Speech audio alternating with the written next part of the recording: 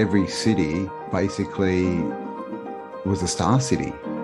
It had these stars around them, but they were all walled, but also cymatic shapes. These are the moats we're told, right? Because we're all taught that castles and, you know, were these square buildings with a moat. But when we can see them from above, there's these intricate cymatic patterns. And uh, clearly you can see why we call them star forts, because they look like stars. So here's one in Portugal, one of the star forts, the huge amount of terraforming around it. Amazingly, this one is still in pretty much pristine condition compared to the destruction of most of the ones you find today. Piano notes. As you can see, these are all cymatic. A, A sharp, B, C, and they're all these cymatic shapes. These are cathedral windows, this line here. These are, you know, rose windows or they're all in cathedrals. And these are cymatic patterns, which are, which are created through um, frequency, so either harmonics or intention. Down here we have, this is our DNA, so these are fractals or cymatic patterns of our DNA. This is this is what we get when it's when it's good intention. We get these perfect, you know, geometrical shapes, and when it's bad intention, we get this goo. So this is like a polluted river, and this is like a clean river.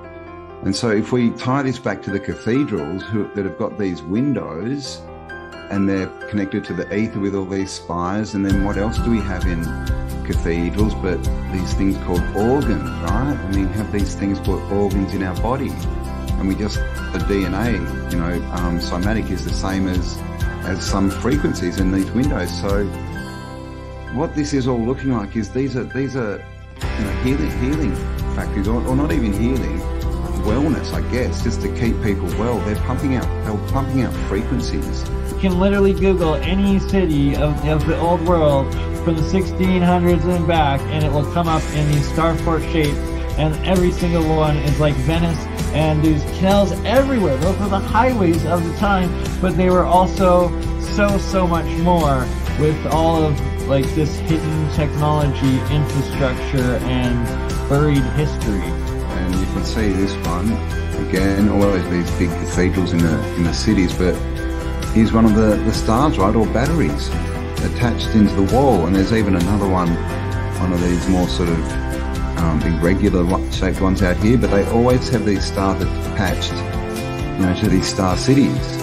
And again, the canals, and you know, you can see this is a big island kind of thing as well. But the thing is with water, water's free energy. You know, you float a boat, you use the current, right? The current. How about the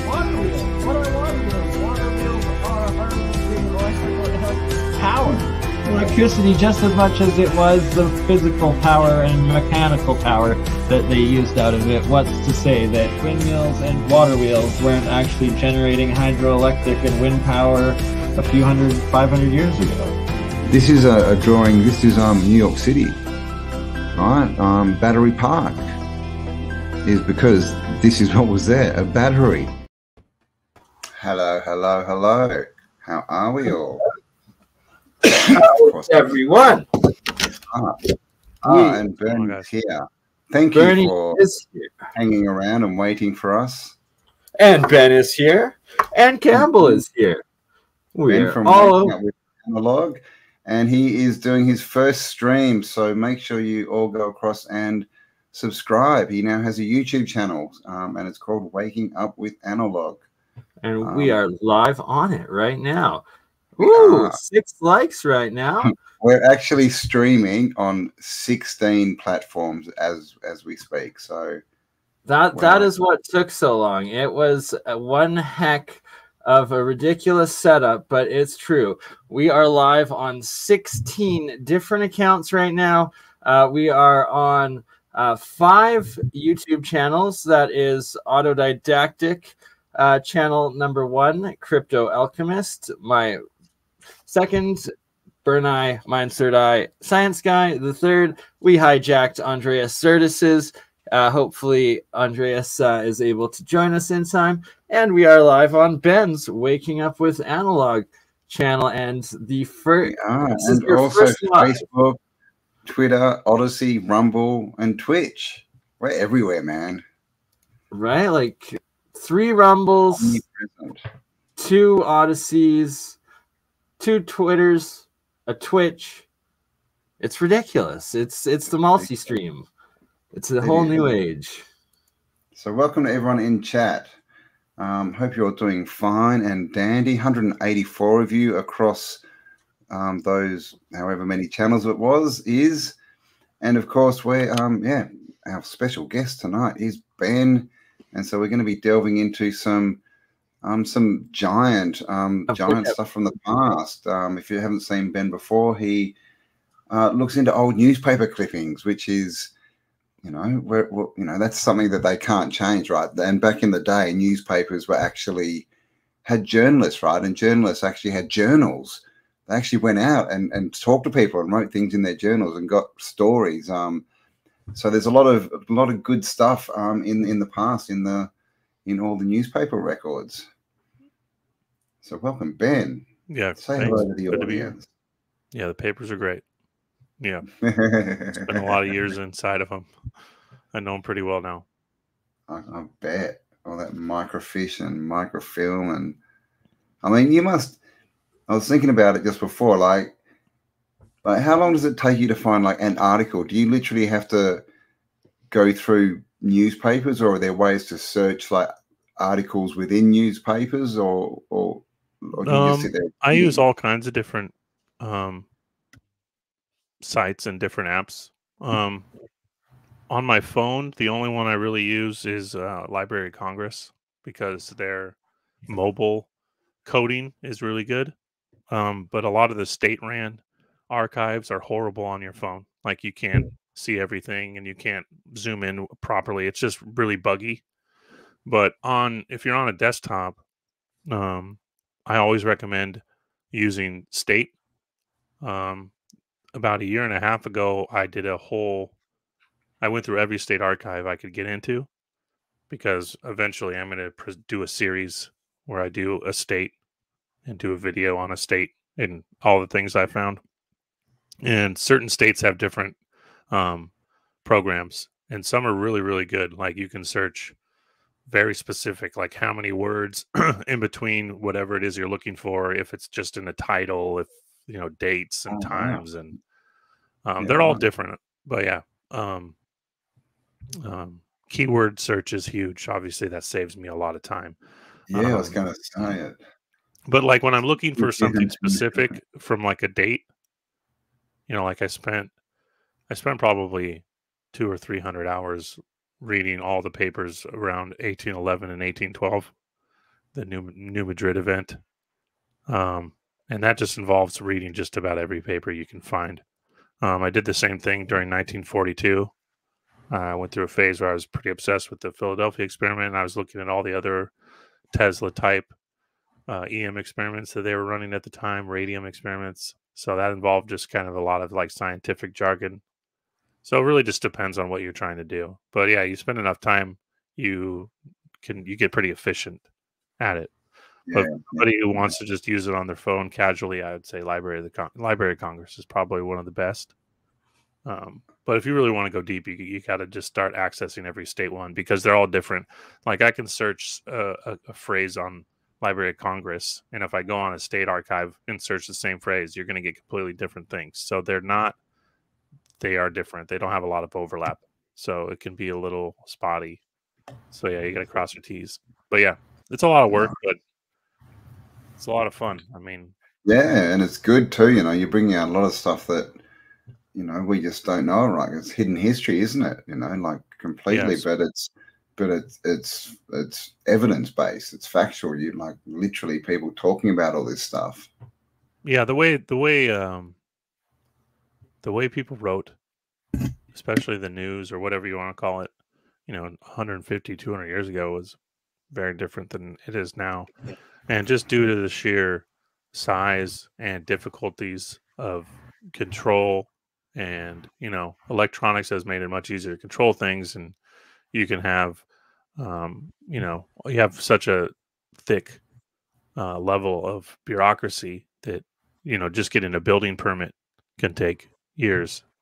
So you can imagine if you on you finally get your building permit and then you hit you know an ancient ship or a pile of bones. I mean, you're basically screwed. And you know, Yeah. there's a there's five people that you have to call and then they all have to come out in person. Whereas in the 1800s, you, farmers were plowing their fields and digging up unbelievable things all the time. I mean, this was a regular occurrence.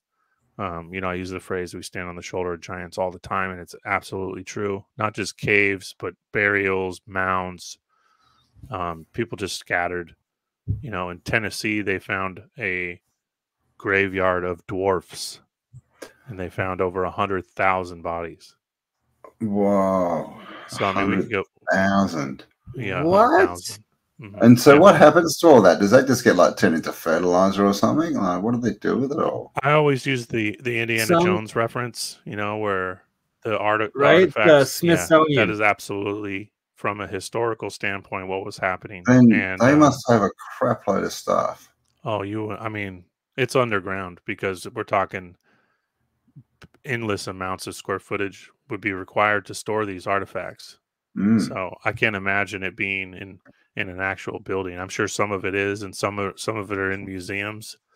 Um, I've talked I've talked quite lengthy about um, that. I believe the majority of of what we call Egypt of the East is a f- fraud, and in the 1800s, they the Smithsonian verbatim was stealing artifacts against the will of the governors of the states and the regions and we're sending them to the east and to, to museums in Europe. Um, Wow. the oldest mummies in the world and the largest quantity of mummies come from North and South America and Mexico. Um, it's not even close. I mean, in Mexico, I have articles where they found uh, um, tombs in the mountains that had over a thousand mummies. Same in Colorado, um, stuff like that, all over.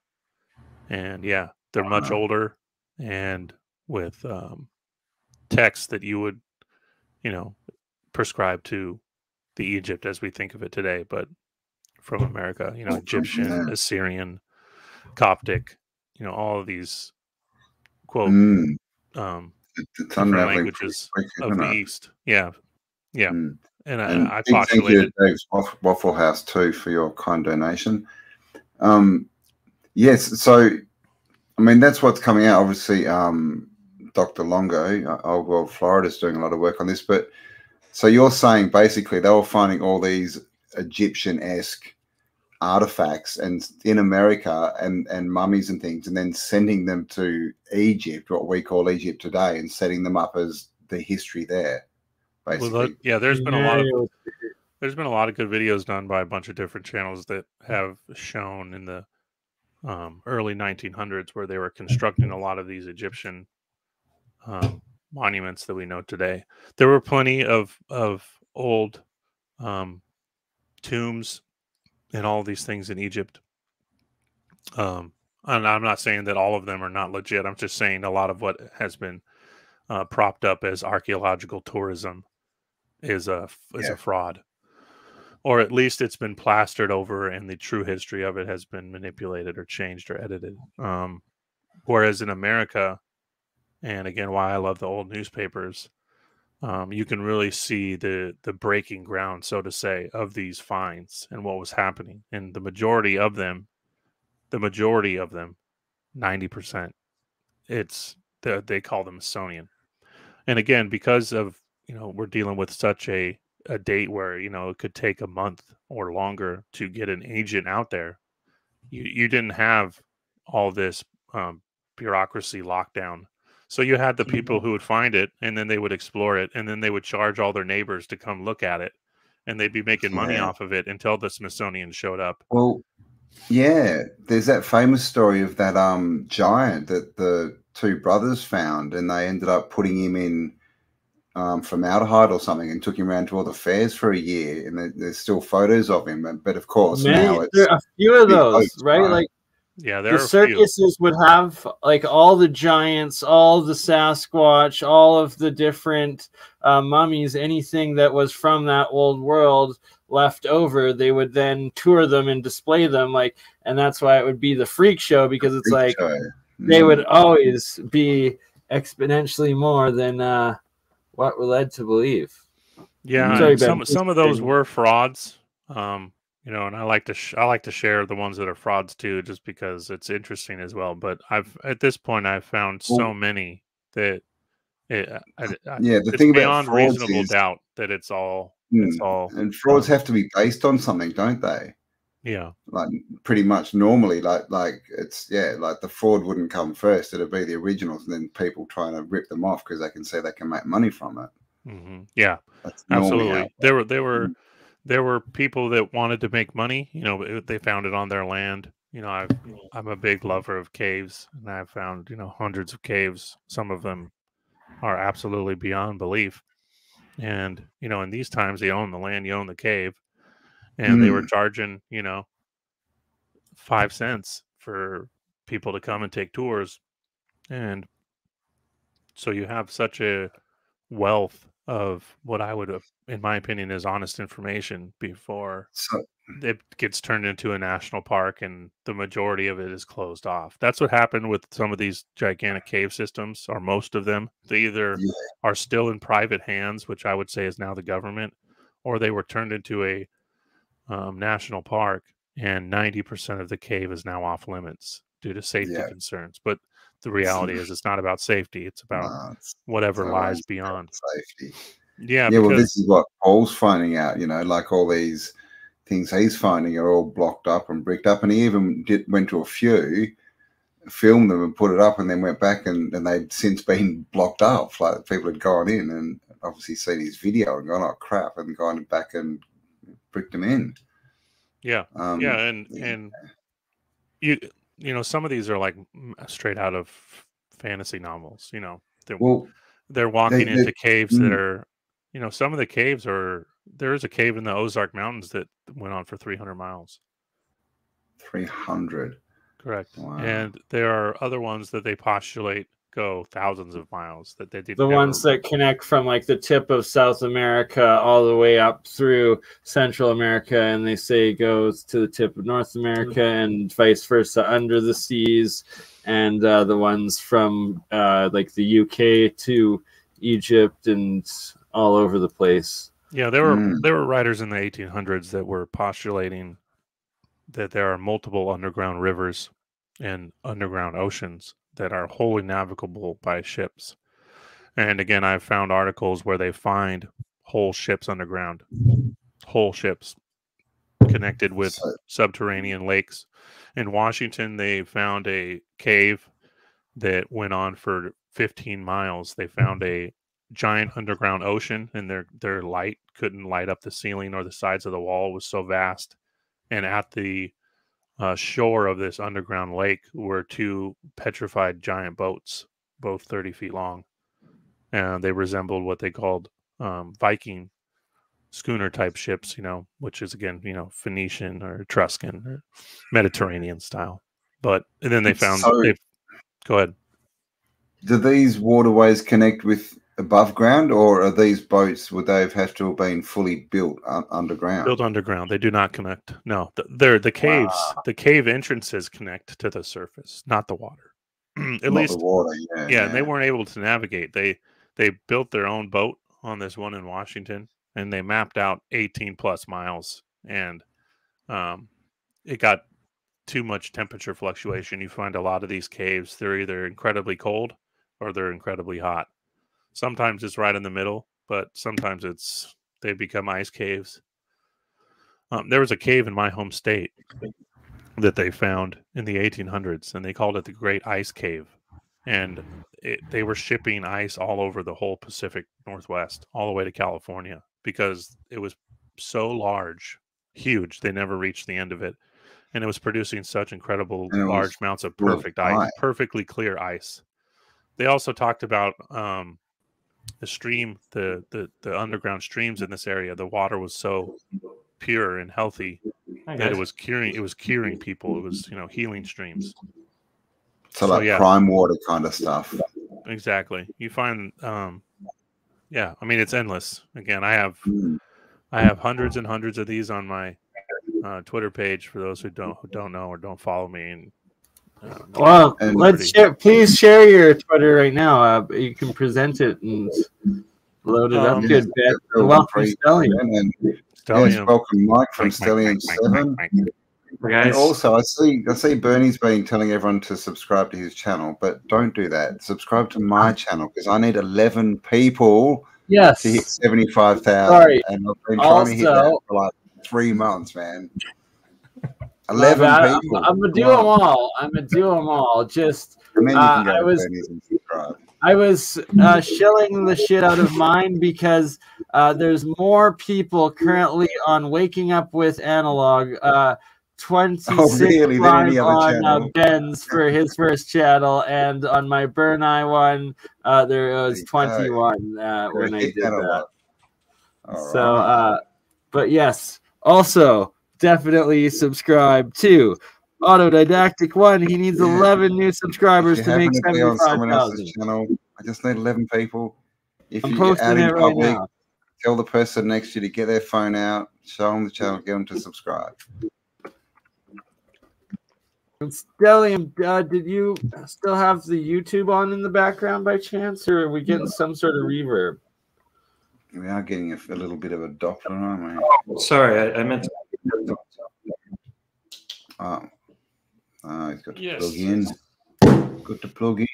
Um, so before we went live, you you had you were talk you told me a bit of a theory on star forts, Ben. Um, on what you think they might be. Um, yeah. Um, I've talked about this before, but yeah. Um, all the star forts are connected with water. I mean, not all of them, but most of them. Some are built up in the mountains, and they're connected by ways of you know streams or wells, or you know they're connected to the same source as a lot of these rivers if they're not on the river or on the ocean. And um, over all the years of just my own studies, um, I've kind of come to the clu- conclusion that I agree f- predominantly with what Edgar Cayce was saying about um, Atlantis and this advanced culture that covered the globe, and I would I would correlate star forts with the same culture um, because they talk about a very similar tech. Cayce does the crystals, sound, cymatics, um, magnetism, and water being the predominant um, intermediary between all of those things. And obviously, you know, they were a great um, merchant class, merchant society. And um, when you cover the globe, you find, um, as I was reading to you off air, the concept of this whole Venice, you know, that all of these ancient cities were like Venice. And the oldest Venice type cultures you find here um, in Middle America. Venezuela is named after Venice. Um, Tenochtitlan, Mexico City, was called the original Venice. All of Florida was called Venice. Tampa Bay was Venice. called Venice. Yeah, right. Um, all over the Philippines cities they called Venice. Um, but yeah, um, these cities built on pile- piles or pylons, um, a class of people living on the ocean, on the water. Um, yeah, right. Nan Madol's like that, but it's sort of underwater now. yeah, Um, and you and in the earliest um getting just using the papers newspapers as a as a reference because that's my niche. Um they were shooting down the narrative of them being anything to do with um military. In the 1800s Oh, really? they were that that some of the indians had moved into them. They were abandoned at this point. And had been for i would i would assume 100 200 sometimes more than that three four 500 years they'd been abandoned. And they some of the natives there had moved into them. Um, and all of the ones that i've found um, articles for all said they were connected with with huge amounts of underground water and that they had tunnels. Um, some of the ones on the mississippi and yes there were star forts all over the mississippi. They've been completely dismantled or were buried in some event probably the new madrid event. Um, Mm, all of uh, New York, Philadelphia area was covered in star forts. Basically, all of the major waterways of Eastern America were covered in star forts, and they were all connected by underground tunnels. In my opinion, I have scriptural proof of that, textual proof. Sorry, but I theorize that they were all connected like this.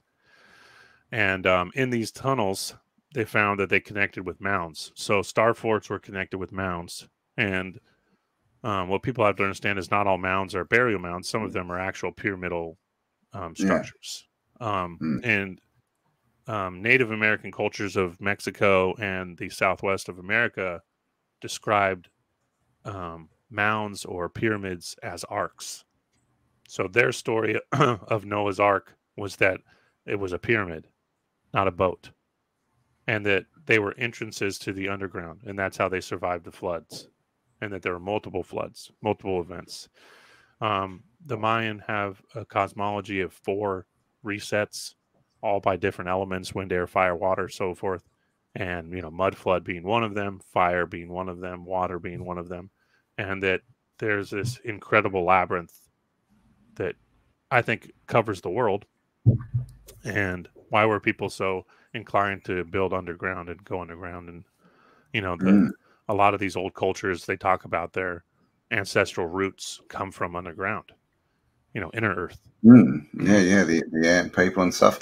It's always, uh, you know, it's always confused me. You know, when I came across places like Yaku and that, and Yeah. you know, escaping floods. It's like if, like, going underground's a bad idea, isn't it? When there's a flood, Um, I mean, if you're advanced enough to build some of these caves that I I found, I guess they had like, yeah, they- if it was a cave, you can imagine that. Yeah, they'd have dry places, and the water would kind of go down into the into the and the And- rivers they and sound so in- in a lot of these really advanced caves where we're finding you know giants and tombs and living spaces and cities and running water they find often find these really deep chasms that they sound to over 3000 feet so i'd imagine drainage for any kind of overflow and they're connected with underground streams so like know, Peru, right? Like uh, the Nazca it goes all the way from the top of the mountains that they chiseled in, and all the way under the desert to the ocean, thousands of kilometers that they've done these, and it's all over the world. Yeah, and I talk about terraforming a lot, and I think you're dealing with a culture that was building star forts in a very similar manner, in a very similar construction all around the world on a scale that would be it would take you know hundreds of millions of people working nonstop for Mm. hundreds of years to build on this scale, and then you Exactly. loop you loop into that that I postulate that if we were capable of that, we were building whole continents, whole whole you know continent might be a stretch, but whole islands. There are many islands that I believe were Yeah. man-made. We've shaped Yeah. land. We've, you know, you just look at Brussels and parts of northern Europe where entire countries are literally shaped Well, by Den- hand. yeah, the Denmark. Netherlands. The Mm. Netherlands. Uh, it goes on and on. I mean, they're it's endless, really. And all of Mexico City. I mean, when the Spanish got to Mexico City, they basically said it was the most beautiful city they'd ever seen in their lives, and they couldn't believe it. There's no way these people were building this, you know. And Mm. um, yeah, it was in a lake. and then they just built over the top of it. I actually just shared an article recently. Um, I found this old article. Um, they were doing excavations. They were uh, there was an earthquake in Mexico, and they had to do some repair work on the main cathedral there in Mexico City, and um, one of the walls was damaged. And they started digging down, and they found a whole nother pyramid underneath the Wow. the, the uh, cathedral there, and they found huge tombs, hundreds of bodies. Um, yeah, it went on and on. So, um, again, we stand on the shoulders of giants. I mean, there are cities like this all over Italy. Constantinople sits on four different cities. So when they were they were having to do water work repairs on Constantinople in the late 1800s, and they dug down and found four different civilizations, four different huge cities. So you take a city like Constantinople and you see how beautiful it is and how the, the, the monstrous sizes of some of these buildings, the mosques there, the churches, and you think there's four different Getting bigger, no doubt, on the way underneath down, a yeah. city that big. And I think this is this is realm wide. I wouldn't necessarily four, but four seems to be kind of a magic number, and it kind of ties in with what I was telling you about the Mayan saying that the, the, world's the resets. the Yeah, world's yeah. reset four times. Mm. So yeah, that was a roundabout way, uh, kind of a quick synopsis of what I think. But but yeah, an advanced culture that was building just about anything. I would say the majority of the major waterways of the world have been, if not sculpted by man, manipulated by man. um, and Oh, Starfort play. Starports Yeah, play a big part of that. Um, I found an Mm. article from China. They were they were talking about this this canal builder who was a Mormon who had worked on the Erie Canal and came out west to help to help build canals, but really they were just digging out canals.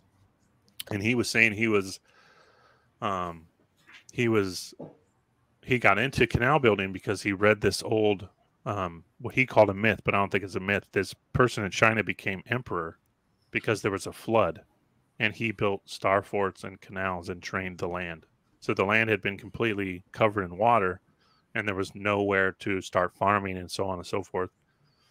So this whole concept of a deluge and using these star forts and systems of drainage, in my opinion. So again, how I said that star forts are multifaceted. I think again they they Mm. do play a part in not only um, power, um, defense, um, drainage as well. You know, water flow is incredibly important, just like the Nile, um, creating um, land suitable for farming is a is a advanced art. And when you need millions of acres to grow food for an incredibly large amount of people, I mean, they found a city in Arkansas so large that every major city of Europe could fit inside of it. They said all Paris, London could fit inside of it, and they estimated that it that there were at least 12 million people living within the boundaries of this city in Arkansas.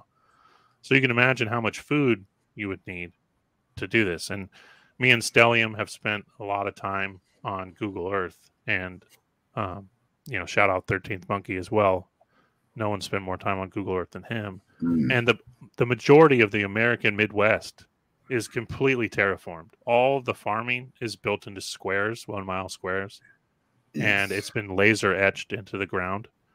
And um, this is advanced. It was there in the 1830s. It was already there. So you know we're horse and buggy, but we're building lit. We're we're talking about uh, you know thousands of square miles, and they're cutting this grid was into the ground. The and then- leftover farming land. Yeah, oh, right. for sure, leftover, one hundred percent, and mechanical, showing the signs of the three D printing, which I talk about a lot.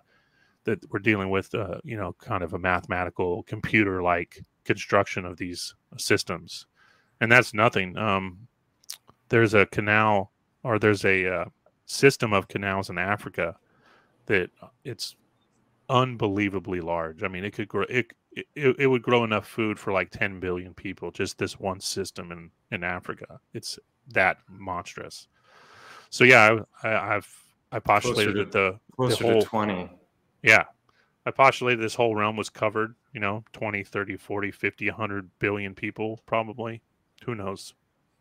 You know, when you the idea of scarcity and not enough land and not enough food and all these things are complete complete farce. Yeah. Yeah. And um yeah, and the the best evidence is below our feet, you know. That's kind of what I've been trying to show. So yeah, No. before I ramble too much, um, I only Yes. have I only have about an hour before I About to get, now, all right. get my kids up for school. So I'm just going to jump All one of my Yeah, yeah. If you want to start sharing, Yeah. yeah. Okay. Got anything you want to add there, Mike? Yeah, please. ready? Uh, a couple of things. I was just thinking the grid lines that you mentioned, the one mile square, that a lot of those they look like they go under the mountains. So that's kind of far out. That uh, you know, it appears like the mountains came after, Exactly. which is which is strange. Um, yeah, and that in that area that you were discussing in Africa, there's an article about it where a guy was looking at how much food can be produced per acre on average, and uh, he extrapolated that out based on how many uh, acres there were in that region, and he he estimated between five and ten billion. But Thirteenth Monkey and uh, he he was looking deeper into that, and he found out that all the lines extended far far further than than this guy had uh, had realized when he when he made that article. So that's why I corrected and said probably closer to twenty billion could have been, and that's just a little tiny chunk Billion? of uh, I thought you billion. yeah. billion. No, billion. The 20 billion could have been fed by that little chunk of Africa. Uh, and that's just one continent, obviously. So I, I totally agree with what Ben said about manufactured scarcity. And, and uh, you know, we're living in it. Yeah, absolutely. Um, and I've shared um, uh, on my pages as well that when they dig into some of these mounds and some of these cave systems, Campbell, they find ancient wheat and ancient corn. And they did a study in the 1800s where they planted some of this corn and wheat, Campbell, and it was 20 Yeah. feet tall, some of this corn. What? And the lowest stalk was 12 feet. The lowest stalk of corn, ear, ear of corn, sorry, was 12 feet. And they grew to, to 20 feet. What? The Were they lead- big seeds? the- Do you know? uh, they didn't describe the seeds, wow. the size of the seeds, but they called it mummy corn and mummy wheat because they often found it with mummies. Ah, the, the mummies would bury themselves with, you know, their, their prized possessions. That that actually sounds kind of like the monoatomic giant lettuce I Oh, yeah. grew uh, last summer, and yeah, I'll, we're going to talk about that more on the next one when you have more Yeah, time. so- shut up. So But, yeah, it, it does. It does because um, when they planted this corn and wheat, they said it looked unlike anything they'd ever seen. It- there was nothing like it left on Earth, and the ears of corn were like three times larger. Um, the the one stalk of corn produced three times more in weight than the normal stalk of corn. It had a dark, dark color, and it was completely drought resistant. They starved them of water, and they grew fine. They never even shriveled. So this is like, again, we're talking about advanced um, agriculture on an incredibly advanced level. Um, mm. Same thing with the wheat. The wheat was producing three to four times as much, and it was drought resistant, so on and so forth. So I mean, this is we're talking about engineering. yeah, well, very GMO level. by Yeah, people with morals, right? GMO, but you know, not like we're For the good of the people, yeah, not Yeah. by psychopaths. Um, but yeah, so I mean, that's we could talk a whole show just about the crops that they were growing with the seeds they were finding underground, and it's pretty amazing. But yeah, cool, um, so this is an article from Arizona. Um, yeah, and I'll just get right into it. Uh, wonderful ethnological discovery, Ohio, 1871. Egyptian temples, ceremonies in Arizona. The Indians refused to go further. A vast black gulf opened down into the core of the earth, 2,000 feet below, 40 or 50 miles in width, enclosed in an unbroken, unscalable rim. Wonderful ethnological discovery, Egyptian temples and ceremonies in Arizona, remnants of a prehistoric race. So, this is a long one, guys, so stick with me. In the New York World on Sunday, of Sunday, has a five column letter from a correspondent at Santa Fe, which, if only half of it be true, will set all the ethnologic societies and literary bodies throughout Christendom agog with wonder and speculation. The letter purports to describe the adventures and discoveries of a certain plunky miner from the Rocky Mountains known as Mountain Jim, who, in company with a man named Tim Jennings, started for Denver last September in search for a mining in search of a mining country which would yield better fortune than to which they had been accustomed. Pushing forward day after day, meeting with constant disappointments in their hopes of finding paying loads, they at last found that they had gotten beyond the Colorado and Utah boundaries and had entered upon a country which wore so forbidding an aspect that even their Indian guides refused to accompany them further. It appears, however, that although the country furnished neither grass nor water, nor any living thing save insects and reptiles, the devil may care spirit, which frontier experience is apt to provoke, still drove them forward. They had both sworn to go on until they found something, and on they went, alone, stumbling forward into a vast, arid waste in which they wandered for several days. They at last found themselves imprisoned in a desert, more malignant still. The upshot of it was that their mules died of starvation, and the agony of their thirst drove, drove poor Jennings mad, and that in an and that in an insane paroxysm he fell over a precipice and was dashed to pieces. After enduring incalculable horrors, Mountain Jim, now utterly alone and stumbling on like a man in a dream, suddenly perceived a black, a vast black gulf that seemed to open down into the core of the earth. And while yet he stood transfixed by terror, the pulverized soil of the arid mesa sank under his feet, and he slid down 2,000 feet into a valley in the midst of the desert, 40 or 50 miles in width, enclosed in an unscalable and unbroken vertical rim. The valley was the scene of his remarkable discoveries. Omitting his description of its beauty and verdure and heads of cattle, we come to the point at which the real ethnological interest begins. He found that the valley abounded at intervals with the massive workmanship of human hands, invariably of stone, stone couches, stone statues, stone tanks for holding water, and huge stone roofs supported by great pillars of stone. Two stone causeways were also lined with a succession of stone houses extending as far as the eye could reach, none of which had any windows, while all had the expanded wings of a bird rudely chiseled over the doorway. No human being had yet seen had, had yet been seen by our traveler, but while engaged in the outer examinations of one of those houses, a startling cry broke out. The cry was instantly responded to from both sides. Simultaneously, every doorway was animated with darting forms. In less than a minute, he says, says Harvey, both ridges were thick as anthills with people. I hardly knew what to make of the matter. At first, I lifted my hat and kept on the road. The farther I went, the more fuss they made.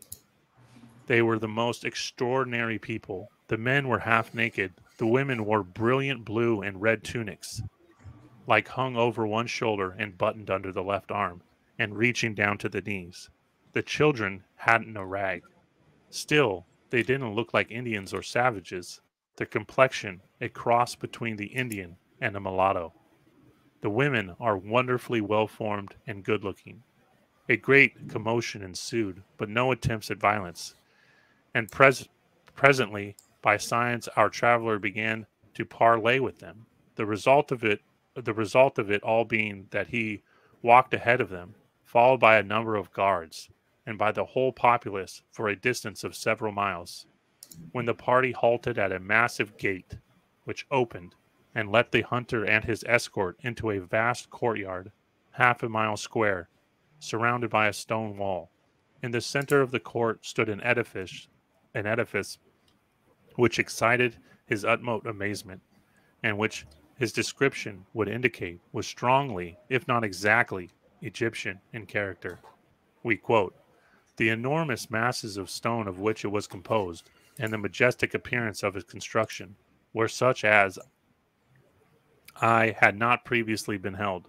The front was adorned with a cornice and a frieze covered with figures and hieroglyphics. A portico formed of 10 or 12 columns in three rows stood out from the front, and the wings of the temple extended on each side.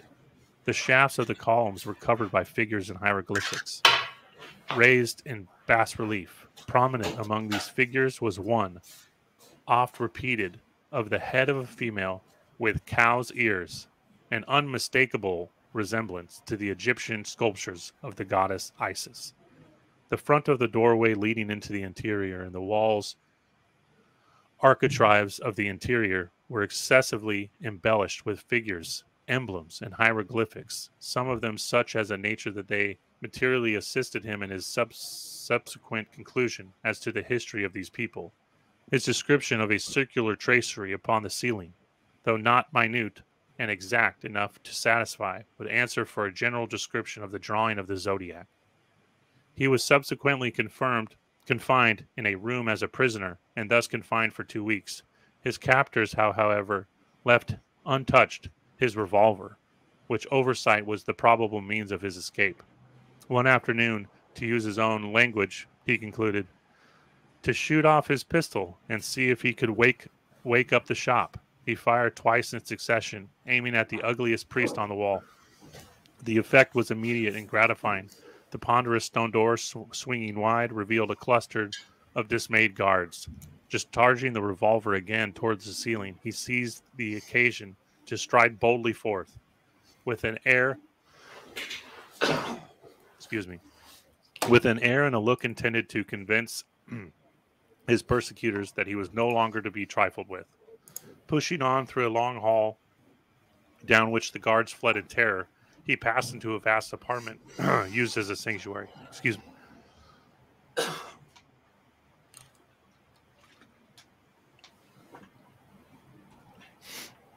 There, the alarm given by the guards aroused a multitude of people prostrate on the floor. Here, the spirit of deviltry induced him to fire his weapon again. The report produced fearful consternation. The crowd, evidently looking upon him as a supernatural being, parted right and left before him.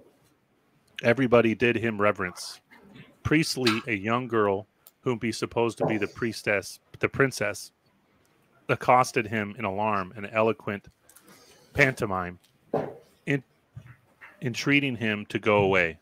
With the assistance of a pencil and a thick stone slate, she explained that it was impossible to scale the barrier which surrounded the valley, but there was an uncertain river outlet to which he would be conveyed, and a barge provided to enable him to make the attempt. Arriving after two days' journey at the point selected and embarking in a boat furnished for him, the gliding current bore him into a narrow and gigantic alley between walls and a naked rock, which gradually enclosed him in impenetrable darkness.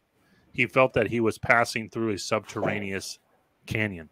After several hours of intense suspense, during the, which the current changed to a rapid and the rapid to a torrent, he reached the open light at the close of the next day.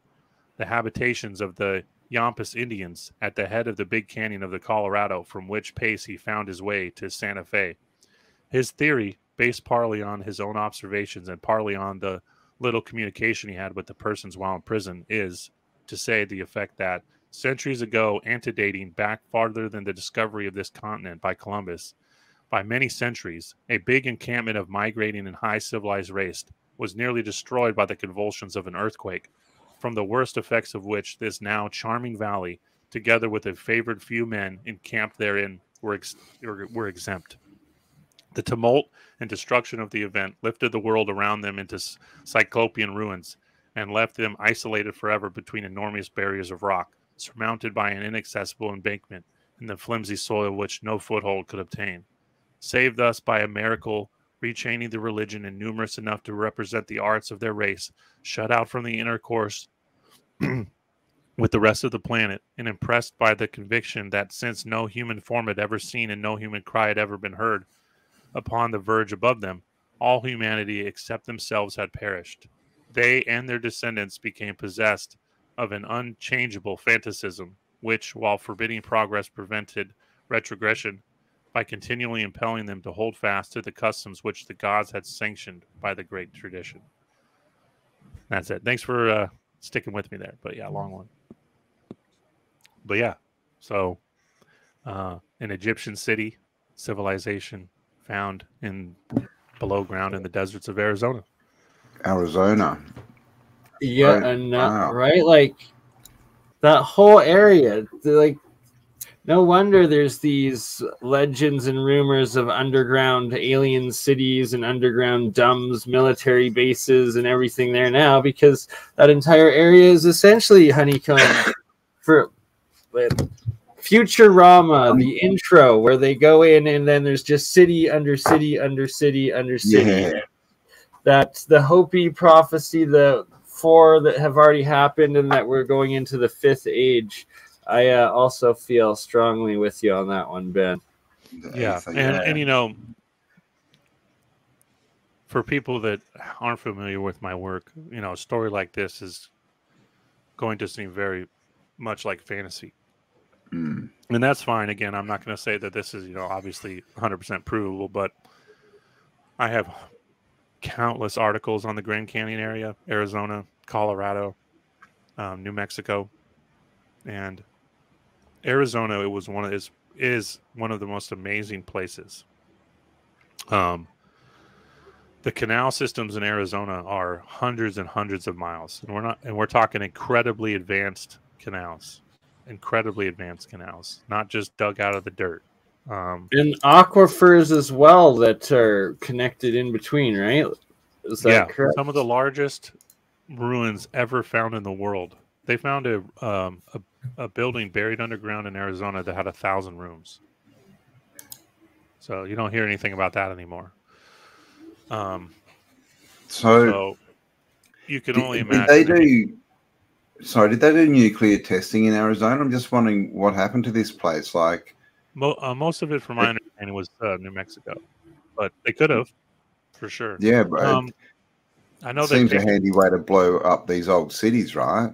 Well, I think so this city is part of, in my opinion, um, what was covered up by dams.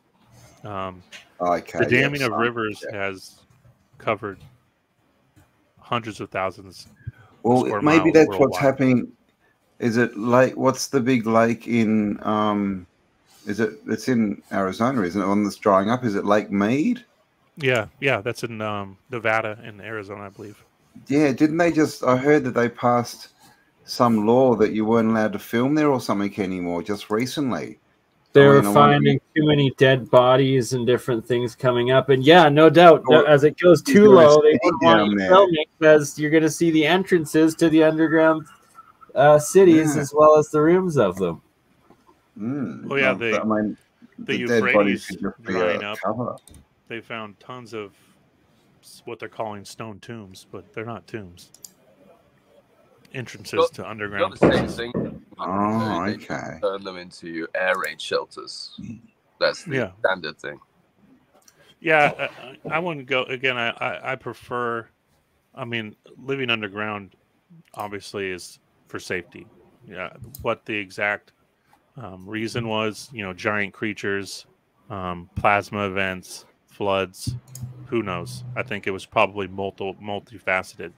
One of the ruins um, they were excavating in Arizona, same thing. They went down three different layer layers of civilization, and each one of them had bared uh, markers of several things. One was volcanic, um, one was um, flood. So I think Oh, it was okay. many things. And um, yeah, I don't know if we'll have time to get into this next one. Hopefully, we will a, li- a little bit. Um, this one's also from Arizona, and um, it kind of connects with what I was talking earlier about Edgar Cayce and um, giants fighting giant animals. And yeah, but that was a long read. This one's not as bad, but still. So if there's more uh, you want to talk about before I jump into this, definitely want to finish and touch on this one a little bit. But we could do I a just, whole I show on Arizona. say, Go ahead, Mm. Mike. I was just going to say real quick that uh, you know what we're seeing is the deeper down you go, the more megalithic, but also when you get down deepest, everything's blocked off. right? I mean, we've seen that a lot with with the stuff that that Mm. Paul has has been showing. So you Mm. go down deeper and deeper, and everything gets bigger, and then there's a stop, and you don't go further than that. So they're blocking something off. Mm. I was going to ask, like, have you found anything that talks about tech or anything that found in any of these places? Um, yeah, absolutely. Crystals. Um, it's not tech like you think. Yeah, I was going to say different it's kind of tech. yeah. gemstones and crystals and um yeah it's so many things um Mm. advanced weaponry but I, I don't necessarily um i don't necessarily think it was uh, weapons you know they often don't know how to describe things they found staffs you know which is interesting um Mm. I think, again, when we talk about uh, uh, an, a realm where a, a star fort provided um, some kind of um, advanced relationship with the environment and the people living in and around it, and for me, the I keep going back to the ether. Um, just like when you live in a humid place, um, me and Longo have talked about this before. The higher the humidity, the higher the you know the ether, the more conductive on an electrical scale. Mm. And oxygen, Absolutely. oxygen levels pay, play a big part in that. And when we're talking about megafauna and giants, you need you need a lot of things to be involved there. And I think, um, you know, Paul, good friend of mine, um, black sheep researcher, what the flock TV. I think he's Uh, in we the have a lot of overlays. with Shout each out, other. yeah, Paul. I sent you the link if you want to join in. What the flock, and you better come this weekend during the forty-eight hour stream. Everybody here is invited. I'm gonna shut Yeah. up. So I talk, I talk a lot about um, spells and spelling and grammar and grimoires and Yes, yes, um, yes. the human Spell it out. potential of language and you know Yep. ether ether or the quintessence um, is the fifth element um, Yeah.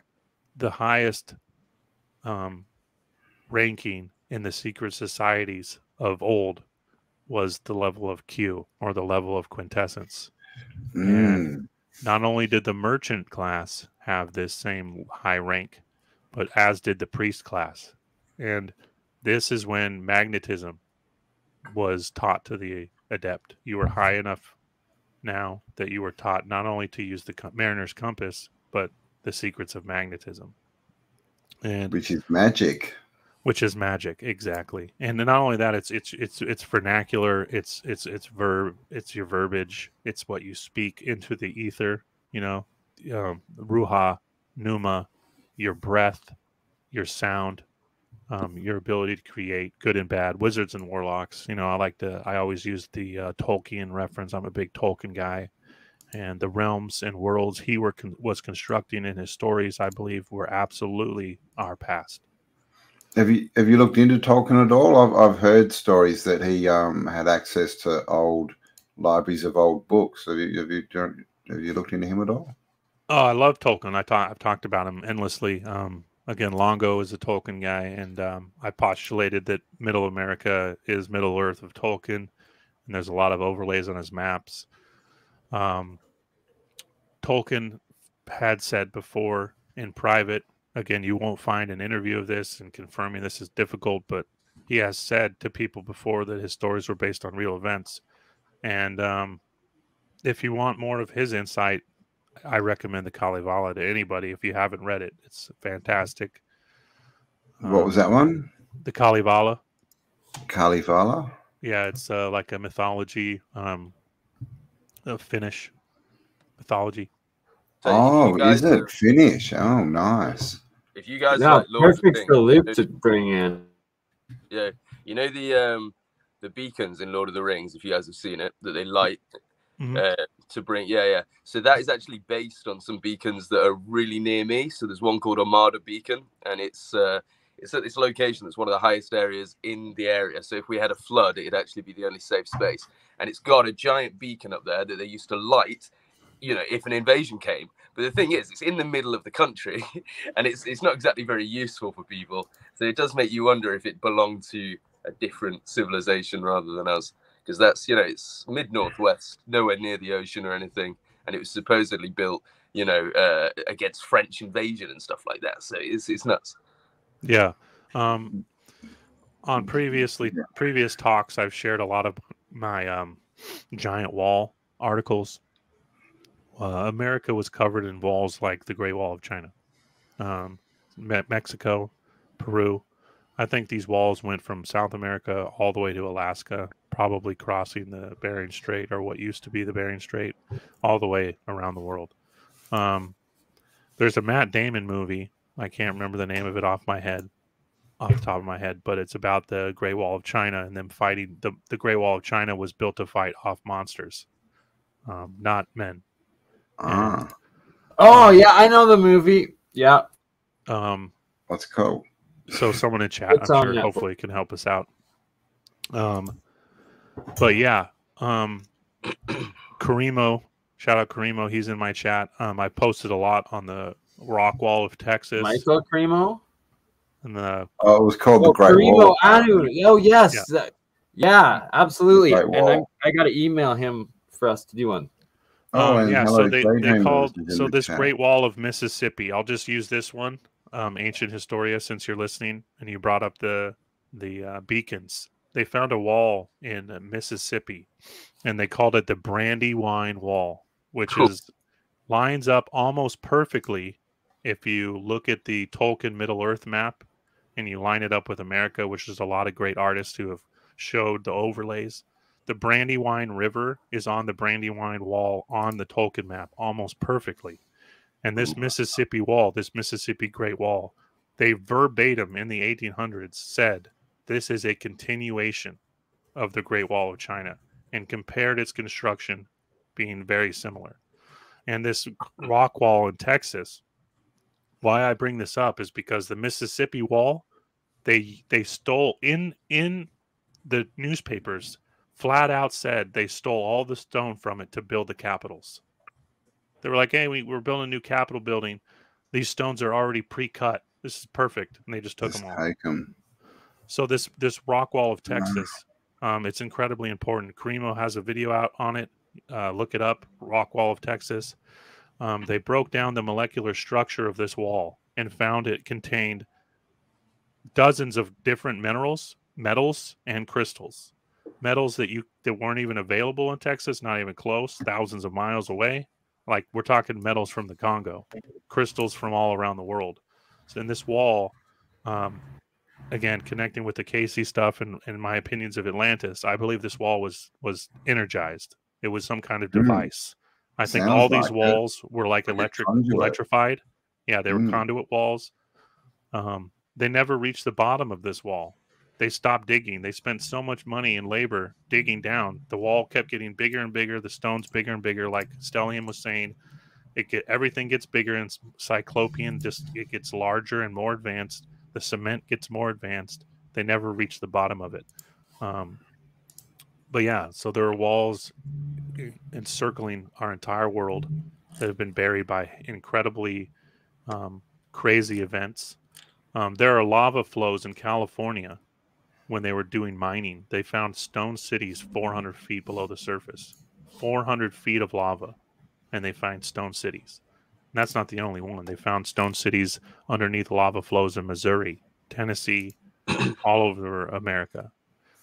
So we're talking some crazy, crazy events, you know, um, Mm, did- unfathomable events, volcanoes, floods, mud floods. I mean, Do you have multiple- any idea of time for when you'd think these would be?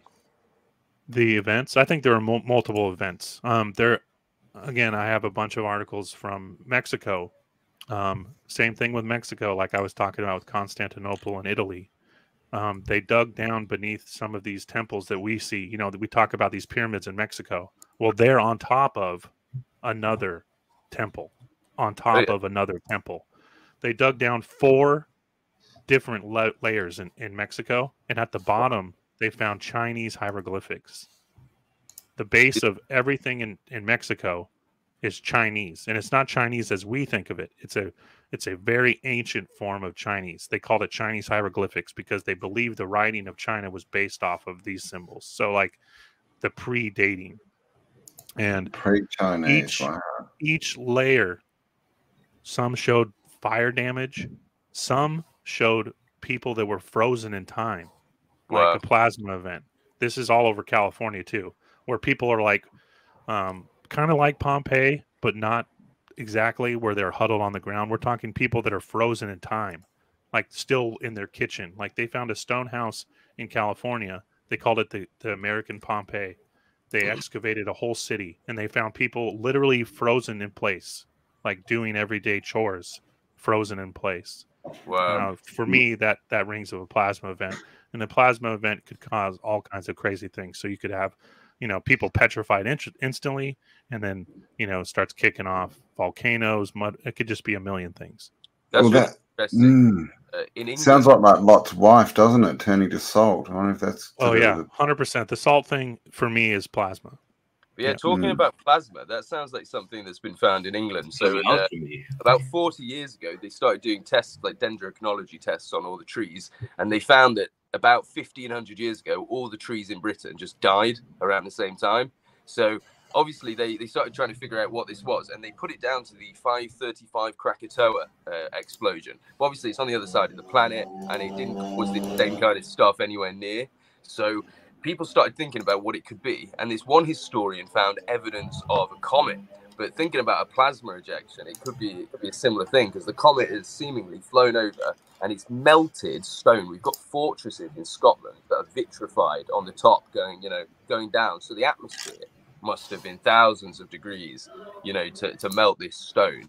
And then underneath, I think it's St Paul's Cathedral, they actually found a person fused into the stone. It was that hot. A body had been fused into What? the stone.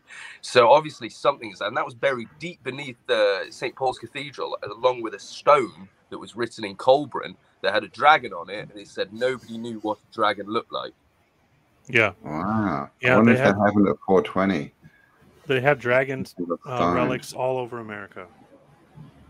Well, Um, yeah, th- in fact, Right. the only historical fossil of a dragon that I've ever found with all my time in the papers was found in Utah in a cave.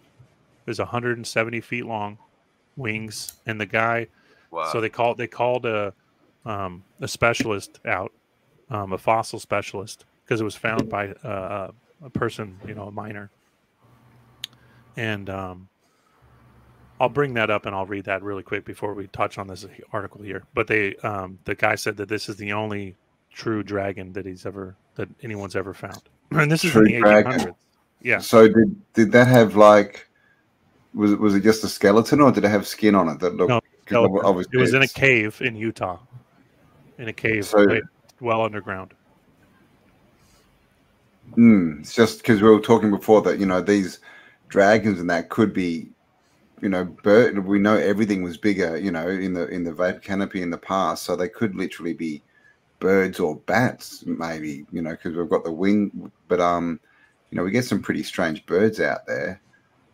So I'm just wondering if it was covered in feathers or if it was it had like you know skin like a bat. To be fair, going with all the dinosaur thing about how dinosaurs are supposed to have been feathered, I wouldn't be surprised if dragons also were way more feathered and actually looked like giant chickens. You know? Oh, fight. they were feathered for sure. Um, yeah. Again, oh, okay. Um, all right. Well, have, they, literally, they could just be giant birds, a kind of giant bird. They could be, yeah. So again, I have I cover a lot of topics on my posts, um, and giant prehistoric animals that were still alive is something that I'm very fascinated in. And um, they found a giant reptile in Alaska that had been terrorizing some of the Inuit, and um, they sent a hunting party to kill it and the Duke of Westminster was traveling from England to be a part of this hunting party. So this is a well-known event. It sounds like and some King Kong shit, doesn't it? When yeah, oh yeah, and um, they said it would cross the Bering Strait looking for food, and it lived underground in a cave. And there were people on the Russian side. This is the 1800s that told the same story and had seen the same thing. It's Jurassic Park. And when they finally caught their first eye of it, it was carrying a caribou in its mouth, a full adult caribou, you know, 700, 800 pound caribou, and it was running up an ice wall. And uh, they never got it, but but they describe it being this giant, a reptile covered in hair or well, feathers. That sounds scary. um, you can just search beasts on my Twitter page, and you'll find tons of articles. Um, there was a a giant monster as big as uh, 10 elephants hunting pygmies. Uh, yeah, it's crazy. All over all over the world, there were remnants of these things. The Smithsonian in the late 1800s put a bounty out for $5 million for a dinosaur or what they called a giant lizard in the Congo. This is in public record. It's on my Twitter uh, page. So what's $5 million in the 1800s today? Uh, a shitload. Like billion or something. yeah. So that was what they were. That's what they were. That was the bounty on this lizard from the Congo, and they talked about all these different famous hunters who travel the world looking for big game. They were on their way there to collect on the wow. bounty. Because that that's we've still got stories of that dinosaur, haven't we? What's it called? Mo, Mo something. They definitely um, accidentally released that, and they were like, "Hey guys, uh, would anyone like to catch a definitely completely wild animal that we have mm accidentally.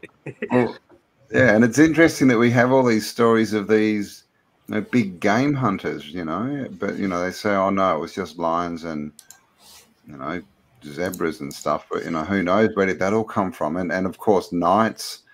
And we have these strange pictures of swords with you know electricity coming out of them by the looks of it. To be fair, who the hell is answering the phone to a call like, "Hey, do you want to go hunt a giant monster?" And he's like, "Yes, I'll, I'll there now."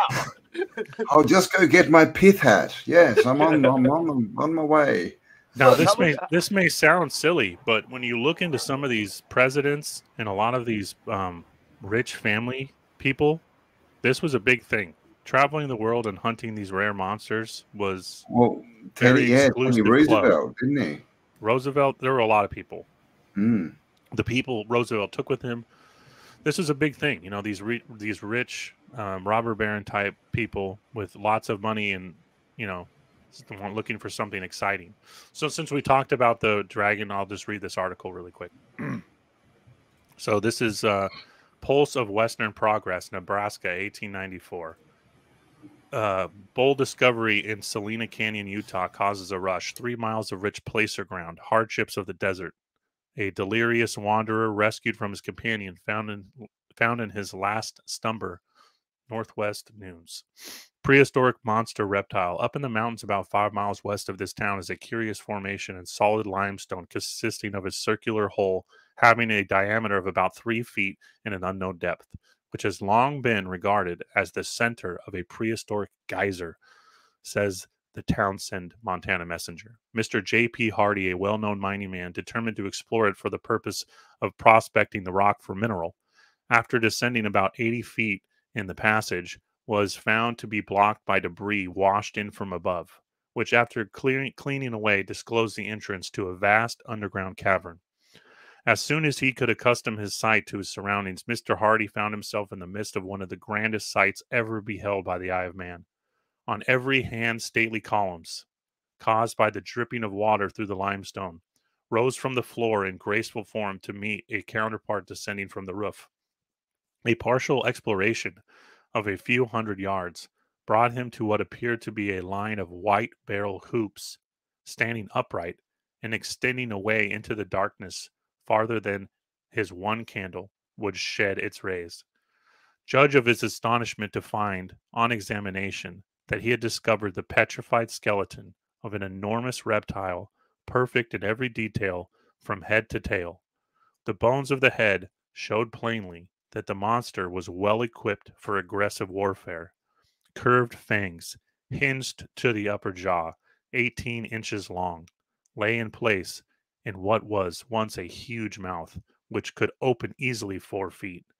Judging from the articulation, the monster lay in a nearly straight line, and Mr. Handy found upon pacing it off that it measured upwards of a 120 feet. About 50 feet from the head lay a number of bones, which that appeared to belong to the skeleton, and Mr. Hardy concluded were the wings. Further examination disclosed the presence of legs, though the only one though only one was in good condition. Judge Watson, who has read much of, on prehistoric mammalian fossils, states that this is probably the only perfect specimen of a dragon in existence.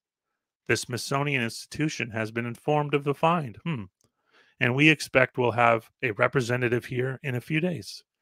Mr. Hardy refused one offer of $20,000 for his find and states that nothing short of $50,000 will purchase it. He has been trying to keep the discovery a secret in order to prepare for the rush that is sure to follow its announcement. But we are here to write up the news, and our readers may look for more disclosure as the caverns are further explored. So, yeah, pretty interesting. Yeah. Campbell's gone. Okay, I'm gonna i st- I'm gonna jump in for all the people here, and oh, since I'm getting, I'm still here. We're still here. I was just okay. Myself. Yeah, sorry. No, no worries. Oh, you're no gonna jump and read it by all means. Yeah. Uh, yes, please do.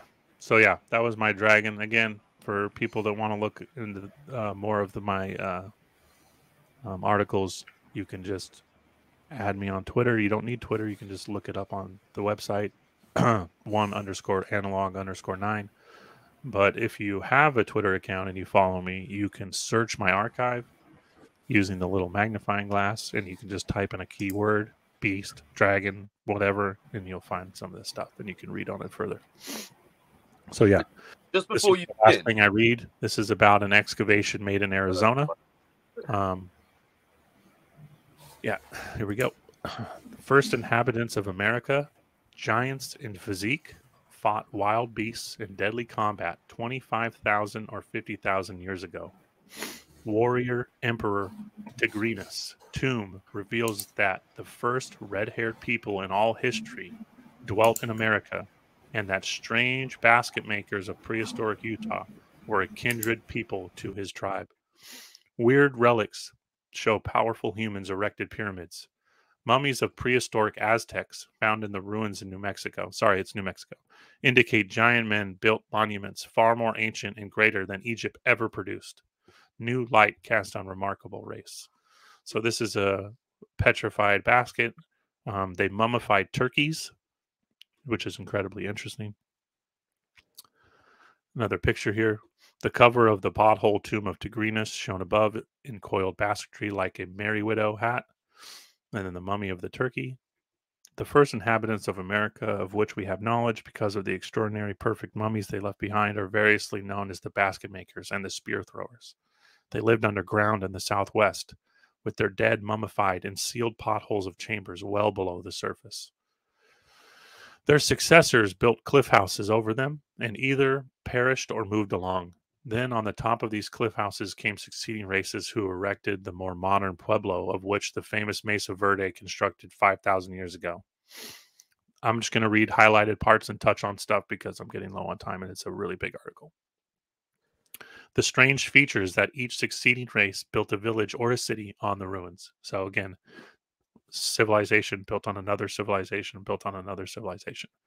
More ancient than Egypt. Naturally, certain questions have ever since been puzzling archaeologists. How did these strange people reach Grand Gulch and where did they come from?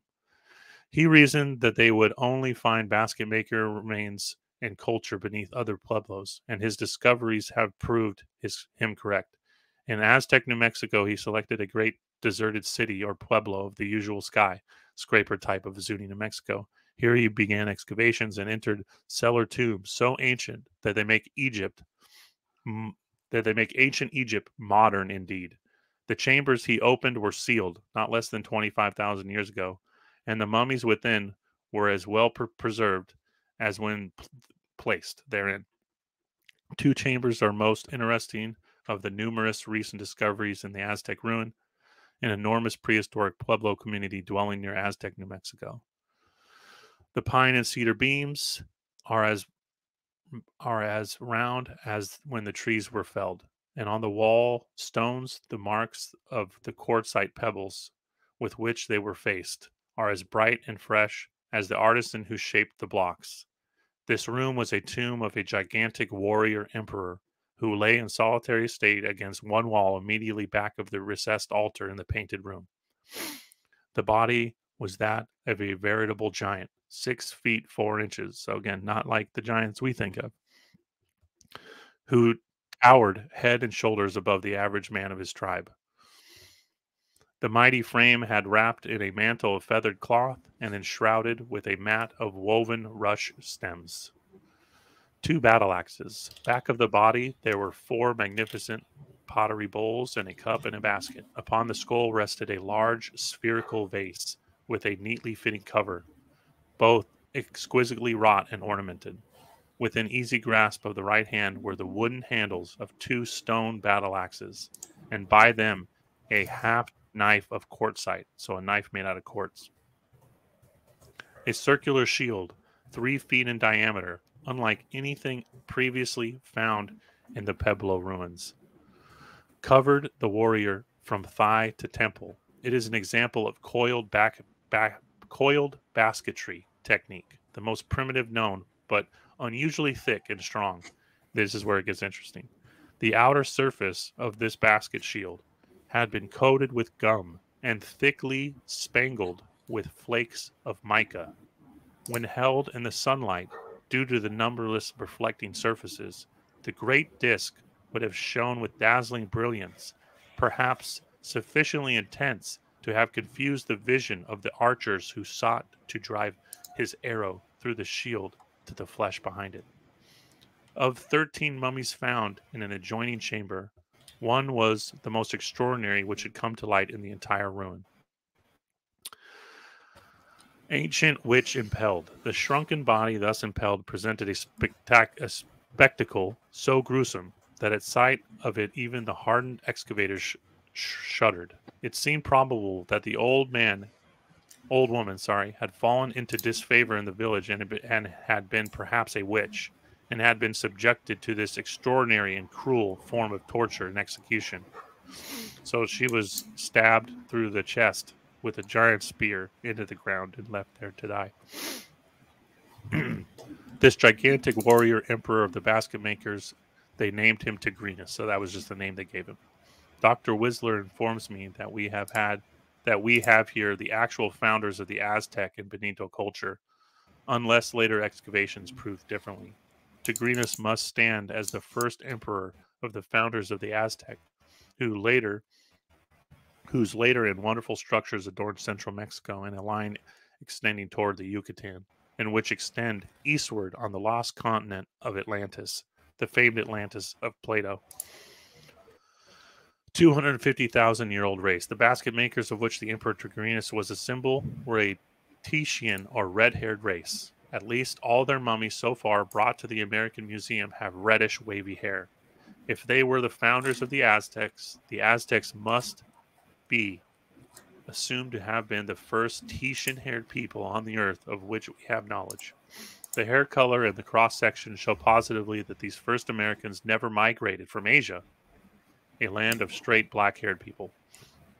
So, yeah, I'll stop there. But yeah, you get the idea. Um, Fucking giants everywhere.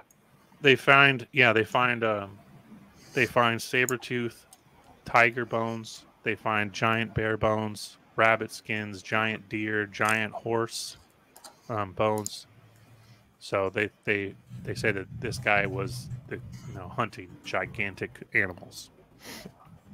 Wow. giant everything from that time and like there was giants and then resets before that there was titans and the last mega apocalypse before that they say everything was a megafauna including humans Yeah, yeah, and um, I talk about Alaska a lot. Um, Alaska in the 1800s was an amazing place. The things they were finding there were absolutely mind blowing. Um, tropical cities. Um, there were whole regions of Alaska where the ground was still so warm from who knows water or vol- volcanic activity or both that they called it a tropical paradise. Um, wild animals like from the Amazon, parrots, like anything you could imagine, tropical fauna, giant fauna in Alaska. So these guys are stomping through st- snowy mountains and they come across this tropical paradise in the middle of, of a snowy world um, with all kinds of tropical animals. Um, Alaska was completely tropical and not very long ago because we're looking at like one, two resets ago. They had mega, mega fauna, tropical fauna there. Um, off the coastline of Alaska, they have tons of ancient coral beds. Um, off the coast of Alaska, they found 26 pyramids. Uh, yeah, What? you can go, you can Well, go on. Yeah, underwater. underwater, correct. 26. we have coordinates for them these are stuff we got to start investigating and Mm, finding all these alaskan ones And I've got to ask now that you're up don't think there's there, like, they were doing wire dragging, um, depth dragging, because they were working on creating a new, um, you know, dredging for larger ships to come in. oh yeah, yeah. So they they do this method called wire dragging, and doing this method off the coast of Alaska, they um, they found 26 pyramidal, one of them being 600 feet tall. Oh gosh. Is there any mention? Have you found anything about Hyperborea or extra land up to the north or anything like that? Oh yeah, they talk a ton about Hyperborea. Again, we could do a whole thing on that. Oh, okay. I'll, I'll book you in for that show then. You can do that on my channel. Um, yeah, they were sending expedition after expedition to get to these islands, um, you know, north of 70 degrees, and, you know, lots of people died. Um, they talk about Mm. animal migrations, and I mentioned the beasts um, that come from underground. Um, but here's that article I just mentioned here um, discovered by wire drag. Dangerous rocks and ship canals off the coast of Alaska revealed by sea sweepers. In his annual report to Congress, um, Mr. Redfield, the Secretary of Commerce, urged 200,000 to be appropriated to survey with a wire drag the more important ship canals off the coast of Alaska. Blah blah blah blah blah.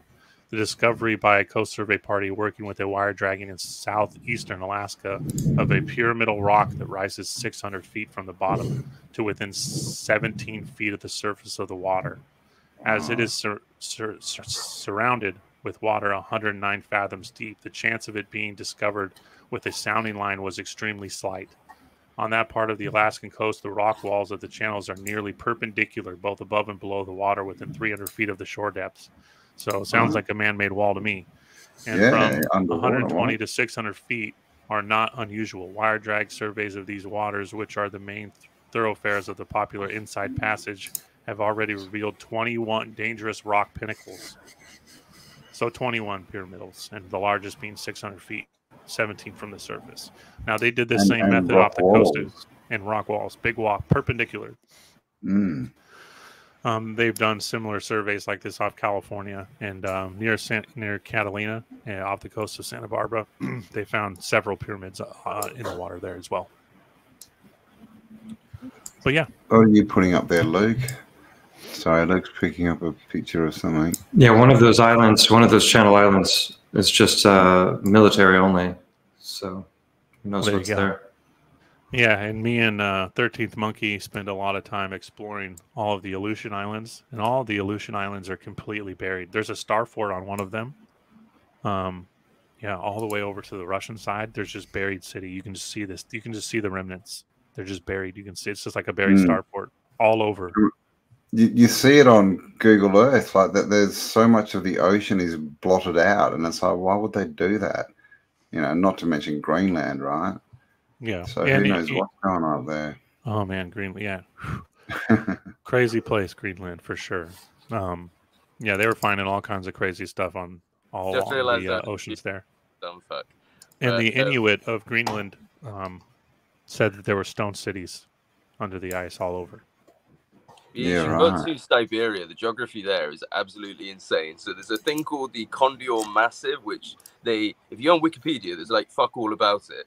But it's this giant crater that's filled with platinum, and they do call it a crater sometimes, but not often. And they don't really tell you how it's formed. But if you look at what, what it looks like, it looks like a giant crater or a giant volcano. Uh, basically, in the you know, bang right where Tartaria is shown as being on maps. And then obviously you look around there, the geography of the area, it looks like it's been destroyed. It does raise some questions. and full of platinum. Yeah, full of platinum. Yeah. So again, we, I could go. We're, we bounce around a lot, and I could kind of Mhm. bring up stuff about anything we discuss. But the mines they were finding in America would blow your mind. Um, there was a mine in the Nebraska territory where they were building. They were bringing out over a billion dollars annually in the, in the mid 1800s. A billion dollars in the 1800s. Um, they find diamond mines. There are diamond mines in America. Now you look that up today, and they'll say no diamond mines exist. They have diamond mines in Arkansas. They had diamond mines in Missouri. Um, really incredible mining was done here in America on an insane scale. Let alone the copper mines around the Great Lakes, which are Oh, yeah, yeah. absolutely mind blowing. Copper in Michigan. I've, I've done quite a bit on this because it comes up in um, like in our history with like the Welsh meeting the Indians and stuff over in America. And Oh, they yeah.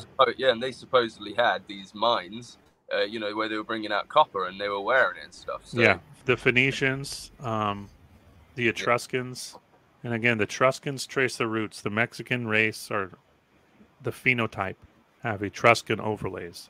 So the Phoenicians were here. I've talked about this a ton. Um, they find uh, copper because you can trace um, the copper. The metal has a signature. They found Michigan, um, Great Lakes copper all around the whole world, all over. Tons of it in Europe, tons of it in North Africa, tons of it in Spain, Portugal. So we're dealing with an advanced culture that was trading all over the world. yeah, and not only that, they were they had a metal metallurgy. They could harden copper, which we still don't know how they did. We still don't have the technology to make copper hardened copper like they did. Mm. And they had a special kind of brass. Well, at least the old bells I've, I've heard were made of a certain brass alloy that we can't make anymore. Yeah, they're They so lose a lot of stuff, don't they? Can't get Yeah. to the moon anymore. the mining is crazy. We could again, we could just do a whole show on mining because I have hundreds on mines. Um, they were finding huge, huge mines, unbelievable scale here, abandoned in the 1800s. I Well, mean, you know, talking about the Etruscan language there, well, Etruscan people there, um, the ancient British language, which is Coelbren, actually comes from Etruscan. So if you take Coelbren and go over to around there, you can use it to decode like one of the stones. This is how they know about the tribes of Israel. One of the stones uh, on Lemnos is inscribed with Etruscan. That you know we're going from here to Britain. And if you use Coelbren, you can decode it. So they're obviously the same language, which means the ancient British people are the ancient Etruscans. yeah. So yeah, and the Etruscans are the Phoenicians, which are the Finnish, and you find them all over America. yeah, exactly. It's, it's nuts how all over. So who were well, the, if, if you use that language, sorry, if you use that language, you can decode Egyptian hieroglyphs. If you use Coelbren with Welsh and stuff like that, you can actually decode Egyptian hieroglyphs more accurately than like what mainstream like academia will say you can. Yeah, yeah, and I've done a ton on this with uh, Old World Florida. We've really um, language is one of my passions, has been for years. Yeah. Um, but yeah, Phoenician is Finnish, and you can the symbols and the the the runes and the runic. Um, they all go back to symbols, and if you go back far enough, the symbols are almost all identical through all of these languages that crop up out of these same um, symbols. And yeah, Welsh is amazing. There were Welsh Indians here. Um, the Welsh and Basque connection. Yeah. Um, the the Micmac, Mic and Mac Indians of America. Their language is almost identical with Egyptian hieroglyphics, and they were trading openly with the Basque people. So yeah, it's if you like language, you should look up this channel on YouTube. It's only a small channel. Unfortunately, the guy that runs it actually passed away last year, but it's called Britain's Hidden History Ross, and he mm. wrote a hmm. book called Chymroglyphics where he'll teach you to actually decode hieroglyphs using Welsh, and then you can literally just look at any hieroglyphs and work out exactly what it says. Yeah, yeah, I believe it. Yeah, I mean, check that out if you're interested. A lot of the Aboriginal, you know, um, rune runic language is Phoenician and Etruscan, and uh, yeah, you can call it the mer- merchant language. You know, they came up with yeah. a, uh, an alphabet and a language cool. that they could teach people. Again, so many of these cultures talk about advanced sailors coming and teaching them astrology mm. and language, teaching mm. them time, calendars, and you can trace it all back to these same things. And um, the mm. Bock Saga does a great job of kind of enveloping all of these stories, these mythologies into one c- mm-hmm. consensus. And that's why I mentioned earlier the Kalevala, which was a big inspiration for Tolkien. And a lot of the languages Tolkien invented are based on these runic languages that we're talking about now, with just a little his own little twist on them. But yeah, so it's crazy. There's it. You can trace so much back to one source, and what that source is exactly, I don't know. But it, it's one, one or two groups of people and language. Yeah, it's the survivors of the last reset, yeah, and they're based off the survivors of the reset before that, yep. and then the one before that, and the one before that is yeah. what it is, right? Like it's what it seems to be, and that it's that each one was a one macro size larger or one micro size smaller um, from the what was there before and why we have in the bible and all the ancient texts it, there was giants in those days and why there was megafauna in those days of the last ice age when it was probably more a vapor canopy like you were saying yeah, at the beginning of this bed mm-hmm. yeah and and all in atlantis um has many um, roots in different languages, but one of my favorites it's, is alt, alt the land without ice, Altlandice. Um, and that during oh, one of these resets like was that. an ice age, and um, part of what I've done with Old World Florida is we've shown that the Gulf Stream, um, at least in my opinion, is man-made, and it was created, yeah, and that yeah, they yeah. they constructed the shape of Florida, Cuba, and the Yucatan to channel this Gulf Stream into the Mediterranean and the Baltic and around so, as an uh, Dutch route. Sense, uh, who was supposed to be here to, right now, but sadly, uh, prayers to his uncle who just passed uh, last night and why he's not. Um, but he will be with us uh, either in 12 hours or uh, this weekend for the 48 hour stream. And he's found undeniable just everywhere these massive macro scale size of building that like you're describing for those that are just hearing these ideas for a first time mm. it's like no it seems like literally our entire realm has been macro size of mm. uh block uh whatever that block game is minecraft man. minecraft there we go minecraft world and, yeah. and jz dreamers i emailed you the link for this uh live right now if you want to join in as in also Kuru. Aha, I both emailed both of you, lovely, beautiful souls, the link in your emails to join if you'd like to. If not, no worries. Ben, Yeah, the framer and the shaper. Uh, well said, Grimo. Yeah, um, I've been throwing this idea around for a long time that you know we find proof of ancient mining on a massive scale. Um, you know, bodies of water like the Caspian and the Black Sea show pretty undeniable evidence of being mining pits, and the Great Lakes show a lot of this evidence as well. And yeah, it's it can be a hard thing to wrap your mind around, but but yeah, the the Gulf Stream is is man made and channeled that way because um, these ice ages happen more often than we think, and the Gulf Stream keeps an open channel between the Mediterranean, Britain, Ireland, and the Baltic, with uh, with Middle America and the Gulf of Mexico, and that's why, as Old World Florida has postulated that Florida was a remnant of Atlantis or a um, a port of Atlantis, and there is undeniable proof that it was a port for some incredibly large ships. Um, I have some articles again from Alaska.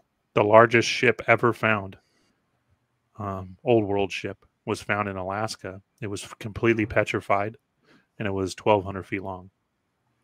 So you Wow. can imagine what kind of culture was building 1,200 foot long ships, and that kind of correlates with some of the giant stone anchors that have been found in Florida. Um, you know, Mm. 5,000 to 10,000 pound stone anchors, even more than that, um, would take some gigantic people to lift and drop, and they would be supporting a ship anywhere from 600 to 1,000 feet long. Um, there's dredging to support this, dredging um, Mm. in the Gulf of Mexico that shows um, they would fit a ship in that range easily. So, yeah. Have you have you read the Smoky God? I love the Smoky God. I have a lot of articles that correlate with the Smoky God. Um, Yeah, because they describe the big ships, don't giants on on these huge ships.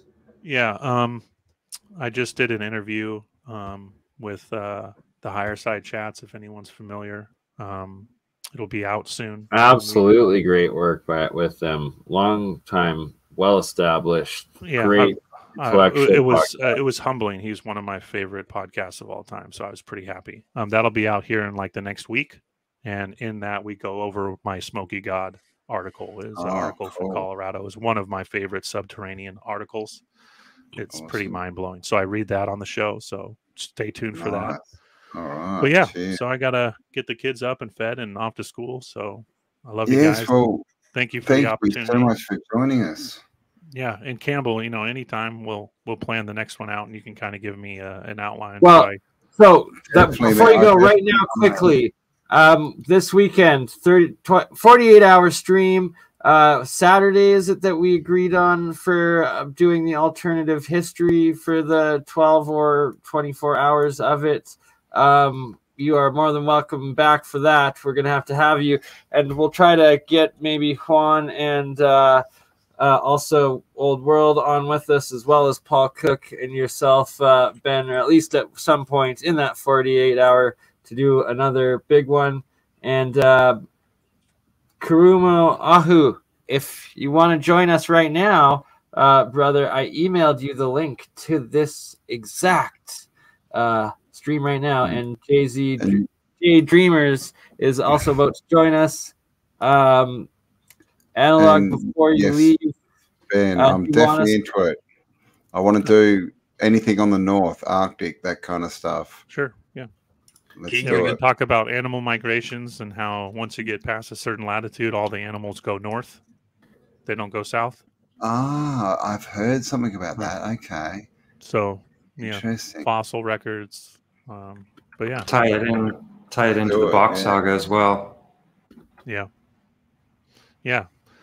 But yeah, Awesome. Mike. Okay, it was, so well, have a good Before day. you and take off, Ben, do you want me to end it on your channel right now, or do you want uh, us to keep going uh, with Yeah. everything that yeah, keeps you can end it on my channel because I don't know. End how. it. Okay. Yeah. And Thanks Aw. again, guys. I really appreciate it. There's Oh. never enough time. There's so much we could talk about. But yeah, Yeah, That's for. Much, sure, much love. Ben. And love you, long Mike. Love you. Mike. See you soon. Cheers, Have a mate. See ya. Have a great day. Take care, Ben. All right. And- So We had 13th Monkey sneak in, and we haven't really said hello. Hello. 13th Yeah. Monkey. Hello. Welcome, Yeah, just Mike. now. I'm, I'm still Mike, figuring Mike, out some Mike, audio issues, Mike, Mike. and I don't have a webcam, so sorry. Oh, we still have Oh. your beautiful voice. That's all we need. You sound good. Mm. It's a little bit share low if screen. you've got a volume you can turn up. You can put up a But you'll have to describe yourself. yourself to the audience now because there's no camera. And we've Yeah, got I- I- Luke. I, I tried doing a picture thing, but that doesn't seem to Doesn't want to do it either. Oh, well, doesn't want to work right. either. We shall get by. I'm tired. So, who wants to take the floor? Who's got something they want to share with the audience to blow their mind out of their ears?